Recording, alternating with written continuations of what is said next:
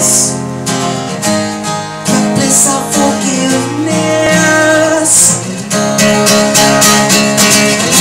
All my life Find the melody. If you listen carefully You can sing along with me. I used to sing aloud But not anymore. I've waited so long for this.